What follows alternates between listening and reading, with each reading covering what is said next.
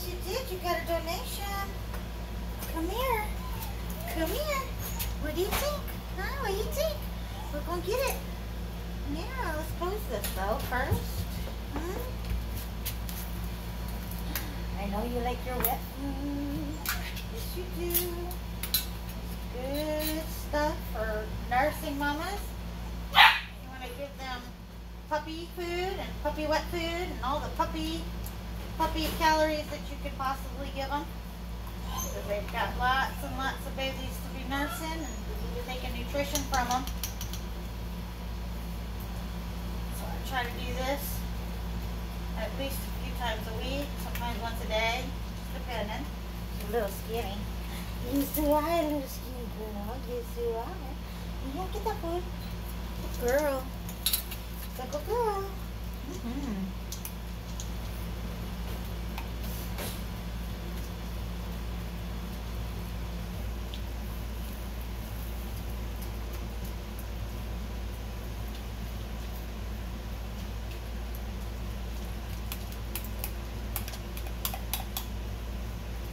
Tilly here, she came in uh, from a hoarding situation. We rescued um, 15 chihuahuas. And we just recently had nine more born out of that 15. Huh. Yeah, and we still got more we need to get from there, huh? They don't want to give them to us, do they? No. And we need to, though, because they're not spayed and neutered, and we're going to have the same problem next year. Another uh, multiple dogs. You don't spay and neuter, they tend to have puppies. Huh. Use up with stuff. Huh? She's such a good mommy. Such a good mommy. Yeah. A little, a little protective with her siblings, so we had to make sure everybody was out. And she's fine with the people though. I'm gonna show you guys her babies here in a minute. She's got cute little four little babies. Okay. I guess she needs to go have a little potty break. Alright. Let's get you guys over here to see these babies. Let's see the babies.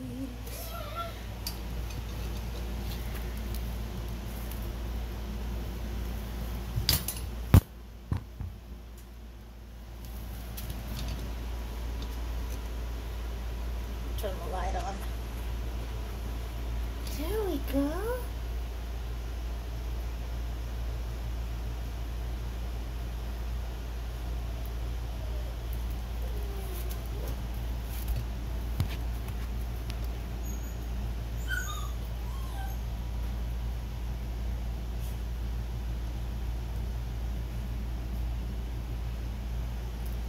Mama keeps it pretty clean. She's doing a really good job. It's dry.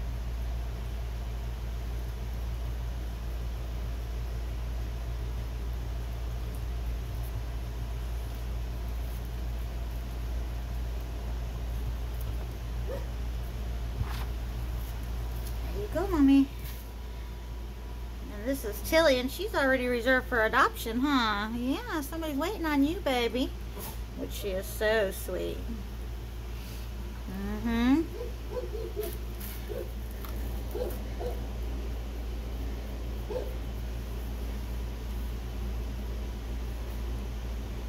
Alright, we're gonna leave her to it.